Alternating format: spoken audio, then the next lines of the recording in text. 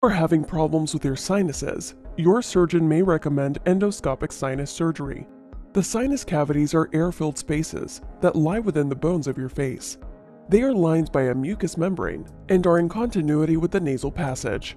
There are four pairs of sinuses, the frontal sinus, behind the forehead, the ethmoid sinus, between the eyes, the maxillary sinus, behind the cheekbones, and the sphenoid sinus, right under the base of the skull.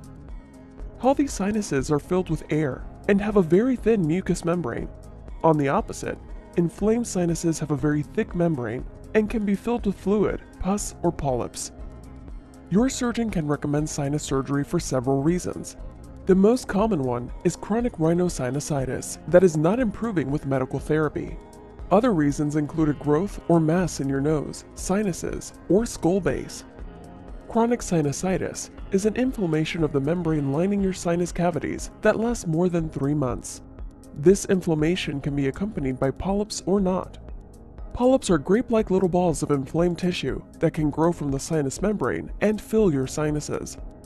If you suffer from chronic sinusitis, you may experience facial pain and headaches, nasal obstruction and congestion, yellow or green discharge from your nose, and loss of smell. Endoscopic sinus surgery is the method of choice for most chronic sinusitis that have failed medical management. It is usually performed in the operating room under general anesthesia. After you are put to sleep, your surgeon will use a small scope and camera to visualize your sinuses and operate through the nose. Therefore, endoscopic sinus surgery is done without having any visible incisions or scar. The main goal of the surgery is to open the natural draining passages of your sinuses and safely remove as many polyps or inflammatory tissue as possible. Depending on your symptoms and imaging results, your surgeon may choose to enlarge the passages from your maxillary sinuses, your ethmoid sinuses, frontal sinuses, and or sphenoid sinuses. Complications are rare, but endoscopic sinus surgery does carry some risks. Four of these risks are nosebleeds, infection, injury to the eye, and cerebral spinal fluid leaking, also known as a CSF leak. Any surgery carries a risk of bleeding. In the case of sinus surgery, it is normal to experience mild nosebleeds for a few days after the surgery. In very rare cases, you could have a severe nosebleed that may require nasal packing or going back to the operating room to stop the bleeding. To reduce the risk of bleeding after surgery, avoid heavy lifting, straining, or intense exercise for up to two weeks after surgery. Any surgery carries a risk of infection.